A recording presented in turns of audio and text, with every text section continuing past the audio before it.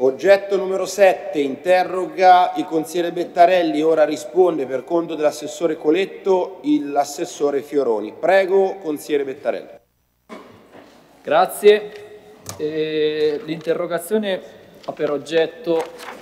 la eh, riorganizzazione e il piano di efficientamento dei laboratori analisi che in realtà con eh, le attuali metodologie ormai e secondo insomma, quelle che sono tutte le prassi, più che laboratori analisi, sono veramente, si parla di medicina di laboratorio per la pluridisciplinarità, per tutto quello che è una componente fondamentale in ottica di diagnostica, terapeutica, supporto, un'erogazione di servizi essenziali. Questa interrogazione ha appunto lo scopo di capire meglio, a seguito di alcuni atti della Giunta regionale, quale sarà il futuro e come sarà la riorganizzazione del sistema appunto dei laboratori. In particolare faccio riferimento ovviamente al piano sanitario regionale, faccio riferimento alla DGR 510 del 2022, riorganizzazione e razionalizzazione della rete dei laboratori analisi della regione Umbria e alla DGR 1024 sempre del 2022 appunto contenente le determinazioni relative al piano di efficientamento e riqualificazione del sistema eh, regionale 2000, sanitario regionale 2022-2024. Come detto i laboratori sono ovviamente uno snodo fondamentale, sono un servizio importante per l'utente, per il cittadino, è utile, molto probabilmente utile una razionalizzazione, una riorganizzazione, quello che chiedo appunto con questa interrogazione è capire come questa eh, riorganizzazione avverrà nel senso che è evidente che coinvolge, oltre che tutta una serie di professionisti che sono medici, biologi, chimici, ma tecnici di, tecnici di laboratorio che eseguono eh, appunto il loro lavoro in maniera seria e, cos e coscienziosa, va a poi interagire con tutti gli operatori del mondo sanitario e ovviamente con tutti i cittadini, i pazienti che di, questa, eh, di questi esami hanno la necessità di dover, eh, di dover fruire. Evidente che eh, quello che interessa all'utente cittadino è in prima battuta l'esecuzione dell'esame, che quindi ovviamente deve avvenire in prossimità del, appunto, di, di, chi va a effettuare l'esame stesso e poi capire appunto come verrà effettuata, in quali luoghi e con quali strumentazioni avverranno le modalità diagnostiche. Eh, I sistemi le, eh, le, le, dire, i laboratori nella nostra regione ovviamente non sto ad elencarli, sono, sono molteplici, quello che eh, mi interessa sapere appunto con questa interrogazione, poi mi lascio eventualmente qualche secondo in più per la replica in base a quali saranno le risposte, appunto è sapere, eh, conoscere i contenuti del modello di attuazione della riorganizzazione dei laboratori di cui all'allegato 1 della DGR 510, la cui elaborazione è stata demandata ai direttori delle aziende ospedaliere e delle aziende sanitarie e più in generale quale sarà il destino dei laboratori di analisi interni ai presidi ospedalieri umbri alla luce della politica sanitaria della Giunta regionale. Assessore Fioroni, prego. Allora, eh, il servizio sanitario Umber presenta alcune criticità strutturali causate dalla inappropriatezza di alcune prestazioni,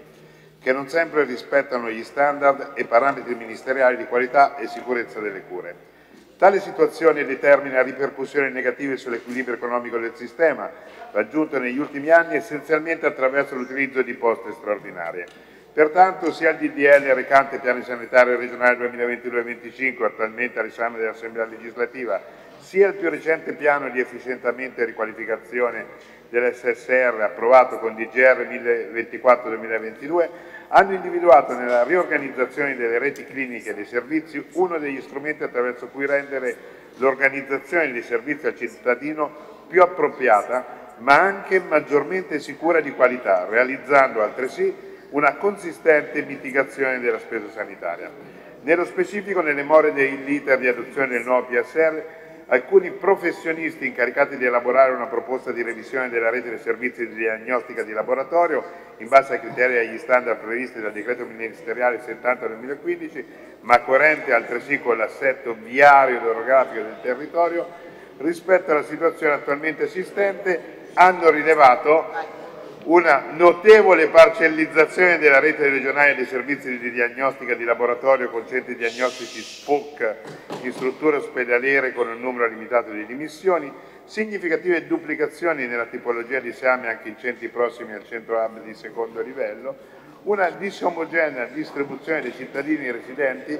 rispetto alla dotazione tecnologica della mission dei centri hub di primo e secondo livello. Il modello organizzativo elaborato dai professionisti individuati dalla Direzione Salute e Welfare e approvato dal DGR 510-2022 prevede laboratorio presso numero due centri hub individuati nei due DEA di secondo livello che seguiranno altresì tutte le tipologie di prestazioni sia per i pazienti interni sia per l'utenza esterna del territorio di riferimento non servita da appositi centri SPROC, incluse le prestazioni di alta specialità, laboratorio presso numero 5 centri SPOC individuati nei 5 DEA di primo livello che seguiranno tutte le tipologie di prestazione ad esclusione di quelle di alta specialità sia per i pazienti interni sia per l'utenza esterna del territorio di riferimento, laboratori collocati nei restanti presidi ospedalieri regionali che seguiranno esami a risposta rapida a bassa complessità, cosiddetti POCT. Con il medesimo atto la Giunta dava mandato congiunto alle due aziende ospedaliere regionali di elaborare in collaborazione con le due aziende sanitarie territoriali la proposta di attuazione del relativo modello organizzativo, inclusa l'individuazione delle branche specialistiche di esclusiva competenza dei centri hub, entro 30 giorni dalla notifica dell'atto.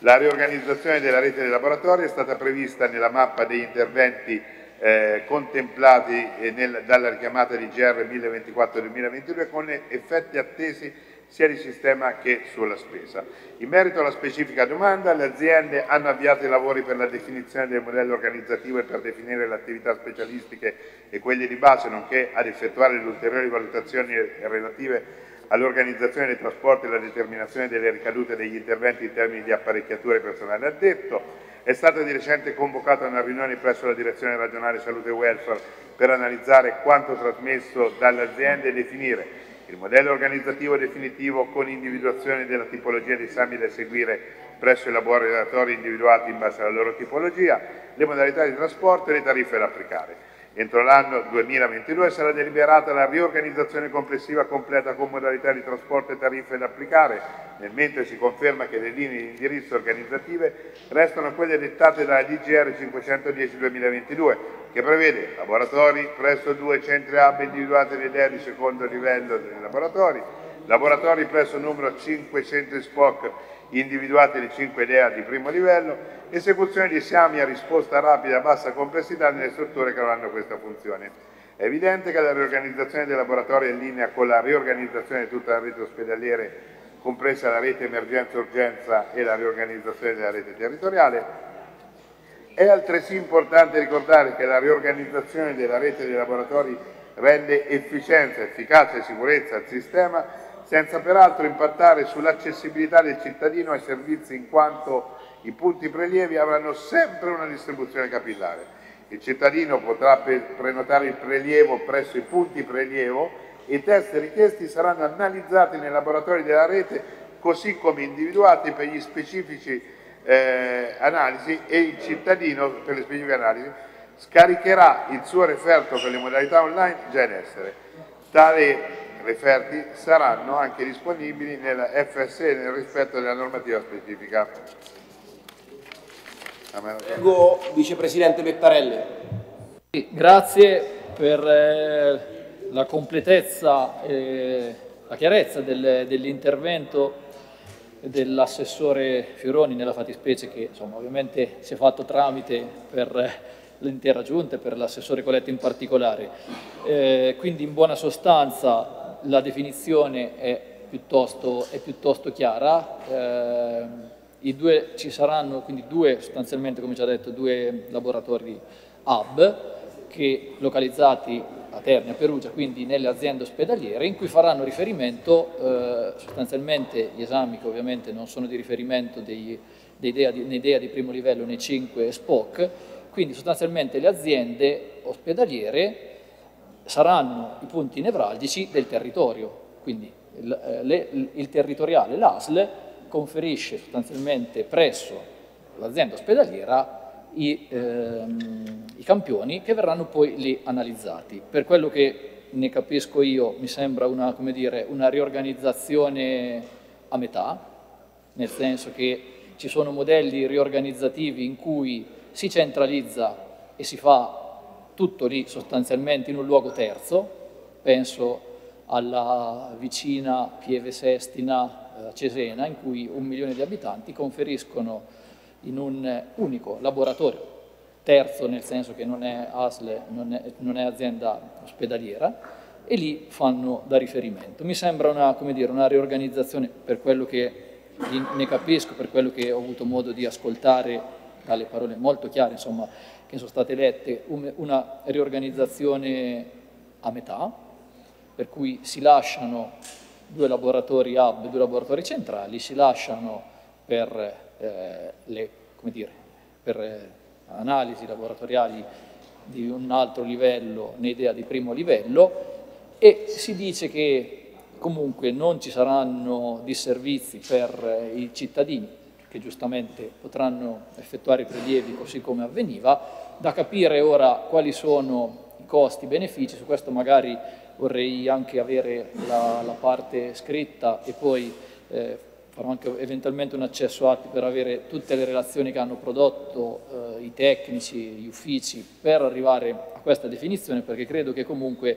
vada, vada mediata giustamente eh, al di là del cittadino che deve avere sempre comunque la comodità e la semplicità nell'effettuare il prelievo vorrei capire quali sono le analisi costi-benefici che sono stati fatti rispetto allo spostamento di determinate provette, campioni e analisi che vengono effettuati eh, portandoli quindi a Perugia e a Terni rispetto ad un modello organizzativo invece che poteva essere e potrebbe essere diverso. Quindi eh, già annuncio insomma, che farò eh, seguito anche a questa interrogazione con un accesso atti per avere tutte eh, le relazioni che hanno portato a, a questa decisione. Grazie. Oggetto numero 8 eh, interroga il consigliere Bianconi, risponde per l'assessore Coletto sempre l'assessore Fioroni. Prego. Grazie, grazie Presidente. Questa interrogazione ha un titolo che riguarda i rischi di una non adeguata assistenza sanitaria e pronto soccorso per intere aree dell'Umbria, connesse al cosiddetto efficientamento e riqualificazione del sistema sanitario regionale. Gli umbri hanno paura, hanno paura per la loro salute. Credo che sia chiaro a tutti che l'offerta sanitaria a disposizione degli Umbri in questo momento è la peggiore della storia. Questo è un fatto. Si susseguono manifestazioni ormai da oltre un anno e quando anche noi della minoranza andiamo in piazza siamo, e mi è capitato anche il 22 ottobre, ero in piazza 4 novembre, insultati perché ci dicono che non facciamo abbastanza per far capire quanto voi, che siete al governo, state sbagliando. E noi cerchiamo di far capire che abbiamo soltanto un luogo, che è quest'Aula, dove rappresentare nostro, il nostro dissenso, dove rappresentare le nostre proposte. Io da due anni contesto il metodo con il quale questo piano sanitario è stato progettato, è mancato il confronto, è mancata la partecipazione, ci si è chiusi dentro le segrete stanze ed in pochi si è cercata la formula magica. La proposta che presentate non funziona, ne siete consapevoli voi, ne sono consapevoli gli umbri. Occorrerebbe un po' di umiltà, fermarsi ora, se ancora in tempo, rimetterla in discussione e cercare di perseguire il bene di tutta la regione. Avete vinto le elezioni al grido liberiamo l'Umbria. Vi siete fatti occupare la sanità, quindi adesso vi chiediamo liberate la sanità. Questo è il momento. di liberare la sanità e di costruire un modello che funzioni, che funzioni meglio di quello attuale. Quello di prima aveva problemi, aveva necessità di profonde revisioni. Era difficile fare peggio? Sembra che ci stiate riuscendo.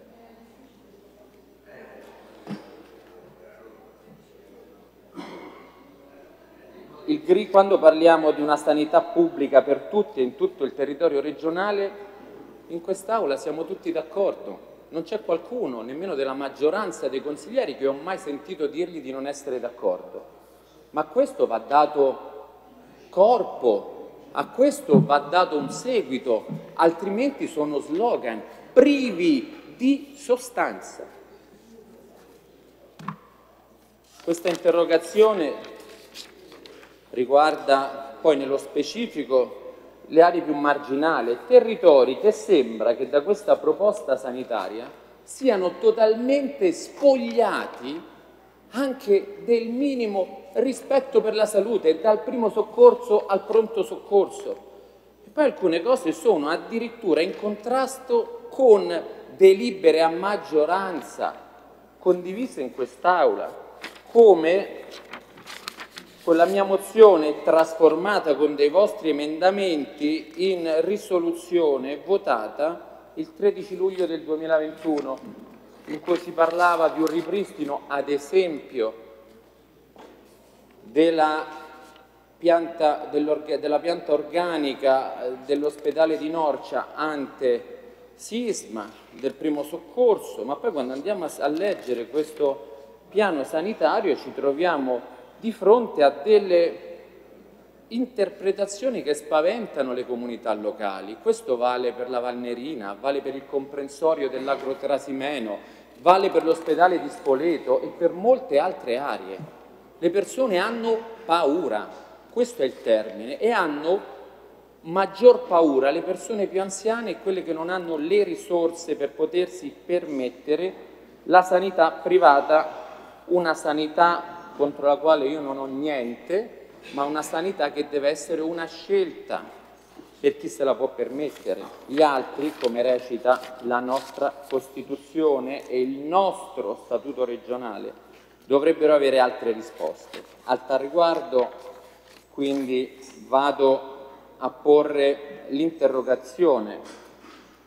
nello specifico di questo mio atto che chieda alla Giunta se presto gli ospedali di Norcia, di Cascia, di Spoleto, di Passignano, Trevi e Castiglion del Lago saranno presenti pronto soccorso, strutture di emergenza e urgenza in loco e altri ambulatori specialistici, oltre alla semplice degenza, chiarendo altresì, anche alla luce delle precedenti dichiarazioni e all'impegno formale ricevuto dall'Assemblea legislativa, a cui ho fatto riferimento poc'anzi, se quando presso l'ospedale di Norcia verrà realizzato il pronto soccorso, ripristinati i servizi territoriali e tutti gli ambulatori specialistici presenti ante sisma. Per chi non sapesse, faccio un refresh, cosa intende il piano di efficientamento e riqualificazione del sistema sanitario regionale quando si parla di ospedale di comunità, che è quello che si vuole a volte un po' camuffare come un ospedale normale, che prevede un'assistenza infermieristica 24 ore su 24, prevede però un'assistenza medica per almeno 4 ore al giorno, 4 ore al giorno, 6 giorni alla settimana e il resto su chiamata e questa è la risposta che per esempio in un'area come quella della Valnerina si dovrebbe dare. Sono nello sforamento dei tempi che hanno fatto tutte le interrogazioni che mi hanno preceduto, ho visto quella di Mancini che ha sforato di 7-8 minuti, quindi voglio essere... No, allora no, mi fermo, voglio, voglio fermarvi qui e, e, chiedo, e chiedo, cari colleghi, a tutti voi un impegno per gli umbri prima di tutto. Grazie. Eh, risponde l'assessore Fioroni.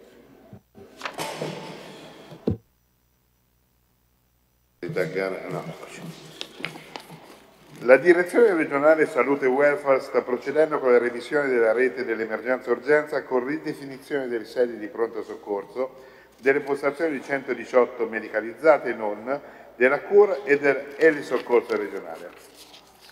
Tale revisione parte dall'analisi di contesto con le criticità emergenti e mira a definire una rete di emergenza-urgenza che, allineata agli standard del decreto ministeriale 70 del 2015 e alle caratteristiche del territorio umbro, dia sicurezza al sistema e garanzia di intervento efficace e tempestivo con centralizzazioni delle casistiche in relazione al bisogno clinico assistenziale nelle sedi appropriate. Pertanto, in merito alle interrogazioni del consigliere Bianconi, gli ospedali di Cascia, Passignani Trevi essendo ospedali riabilitativi già classificati co così dalla DGR 211 del 2016 con unità operative di riabilitazione, sono ospedali per post acuti nei quali non è prevista la sede di pronto soccorso e manterranno le attività riabilitative ora presenti negli stessi. L'ospedale di Spoleto è, e resta sede di DEA di primo livello e quindi tra l'altro mantiene la sede del pronto soccorso. Gli standard richiamati di bacino di utenza e di accessi anni appropriati del DM70 non sono soddisfatti, in particolare gli accessi negli anni sono inferiori ai 25.000, ma tenendo in considerazione l'orografia del territorio, considerando anche la limitrofa Valnerina e la percorrenza delle, dalle aree dalla Valnerina verso gli altri DEA, in particolare quelli di secondo livello, la programmazione regionale della rete emergenza urgenza prevede di mantenere tale sede di pronto soccorso. La configurazione delle attività di ricovero di specialistica ambulatoriale saranno conformi a quelle del DEA di primo livello e integrate con quelle di Foligno. Come detto nel piano di efficientamento si definisce la costituzione di un polo unico funzionale, sedi di DEA di primo livello, su due sedi ospedaliere, ognuna delle quali con specifica vocazione ed eccellenze Presso l'ospedale di Foligno potrebbero concentrarsi tutte le prestazioni di emergenza e urgenza, mentre presso l'ospedale di Spoleto l'esecuzione di tutta l'attività programmata, potendo prevedere anche l'implementazione di ulteriori progetti assistenziali finalizzati a valorizzare l'attività assistenziale del territorio dell'intera regione. L'ospedale di Castiglione del Lago è oggi teoricamente configurato come ospedale con sede di pronto soccorso, e per questo dovrebbe avere per gli standard un bacino di utenza compreso fra 80.000 e 150.000 abitanti, un tempo di percorrenza maggiore di un'ora dal centro dell'abitato al DEA di riferimento e un numero di accessi anno appropriati superiore a 20.000 unità, tutti parametri non presenti a titolo di esempio, gli accessi del 2001 sono pari a 8.917. Inoltre, dal punto di vista dei ricoveri, i dati dimostrano che la struttura opera per lo più come ospedale per post-acuti. L'ospedale infatti aveva una produzione ospedaliera pari a 2.126 ricoveri nel 2019, passata a 1.447 nel 2020, 1.246 nel 2021 e 586 nel primo semestre del 2022, con un numero di posti letti pari a 40 ma con un utilizzo medio inferiore ai 34 posti letto. Ciononostante è in corso una riclassificazione conseguente alla DGR di razionalizzazione e di rilancio della rete ospedaliera regionale per ridisegnare la rete sanitaria del Trasimenio che possa vedere l'ospedale di Castiglione del Lago valorizzato in ottica funzionale alla rete regionale e territoriale, tenuto conto anche delle specificità del territorio, vocazione turistica, mobilità potenziale verso altre regioni e logistica. Tale riflessione sarà come in tutta la Regione condivisa con i territori prima dei provvedimenti attuativi. Si specifica infine con l'occasione che è in corso la revisione della rete emergenza-urgenza che dovrà garantire su tutto il territorio regionale tempestività e sicurezza di intervento grazie anche all'attivazione dell'eli soccorso regionale. Per l'ospedale di Norcia è prevista la ricostruzione post-sismica per il quale è previsto un finanziamento specifico, con il piano di efficientamento di cui alla DGR 1024 del 5-10-2022 per la sede di Norcia è prevista la conversione in case comunità ed ospedali di comunità con fondi PNRR in aggiunta a quelli già stanziati per la ricostruzione post-sisma. La ricostruzione vedrà al primo piano la realizzazione della struttura ospedaliera con 20 posti letto, al piano terra la realizzazione della casa della comunità che potrà, che potrà essere aperta fino a 24 ore su 24, 7 giorni su 7 e rappresenta il luogo fisico e di facile individuazione al quale i cittadini possono accedere per i bisogni di assistenza sanitaria e sociosanitaria. Rappresentano il modello organizzativo dell'assistenza di prossimità per la popolazione, nella quale saranno ripristinati tutti i servizi dell'assistenza distrettuali presenti prima del sisma, comprese le attività di specialistica ambulatoriale. Per quanto attiene alla rete emergenza-urgenza, vale quanto già detto per l'ospedale di Castiglione del Lago. Grazie Assessore. Replica al consigliere Bianconi. Eh, grazie Vicepresidente eh, Bettarelli, ringrazio l'assessore Fioroni per aver letto le parole dell'assessore eh, Coletto che continua per certi versi a sfuggire anche da una visita in loco che serve per capire territori marginali come quello dal quale vengo io. Rispetto al primo soccorso informo questa assemblea legislativa, e non è la prima volta che lo faccio, che in Valnerina c'è per tutta la Valnerina un medico sull'ambulanza sul 118, un medico, quindi vuol dire che se c'è quell'ambulanza parte e va a Foligno, almeno a Foligno, se non a Perugia, che ormai è l'unico ospedale rimasto in questa regione, tutto il territorio rimane scoperto per almeno 5-6 ore. Quindi l'ambulanza successiva parte senza medico. Pochi giorni fa, purtroppo, una donna in attesa all'ottavo mese ha perso suo figlio e il battito cardiaco fino all'ospedale di Spoleto era funzionante, ma l'ospedale di Spoleto non era in grado di dare risposte, sono dovuti arrivare all'ospedale di Foligno, dove purtroppo quel battito non c'era più. Anziani del mio territorio, come quello delle altre aree marginali, rinunciano a curarsi perché quando prendono 600 euro di pensione e hanno magari un figlio che prende 1200 euro e devono andare a fare una visita a 100 km da casa loro, è inspiegabile perché spesso andiamo a fare delle verifiche nel nostro ospedale e lì non c'è nessuno in fila, non ci vanno e non si curano. Se poi parliamo del mondo economico, quello del turismo, chiave, sviluppo del nostro territorio, vi informo, qualora non lo sapeste, che i tour operator importanti del mondo, gruppi sportivi ed altri fanno una verifica dell'offerta sanitaria locale perché rispondono direttamente dell'assenza di servizi idonei dati ai loro clienti e se ce li mandano in questi luoghi e sanno di non essere all'altezza di un'offerta dignitosa, si devono far firmare prima delle liberatorie per non essere perseguiti per legge. Questo, signori, è un tema. Io sono contento che per Assisi, polo principale turistico di questa regione, sia stata trovata una risposta adeguata. Il problema non riguarda soltanto Assisi, che è il faro di questa regione, ma riguarda anche altri territori, non riguarda soltanto l'economia, ma riguarda anche chi ci vive, perché come non ci verranno alcune persone a fare vacanza, se ne andranno quelli che hanno paura di lasciarci le penne. Grazie.